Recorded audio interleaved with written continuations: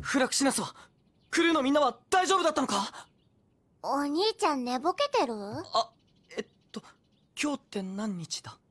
え11月3日に決まってるじゃない。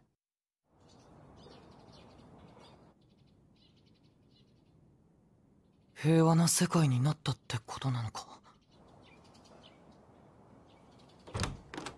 ？11月3日って折り紙が反転した次の日。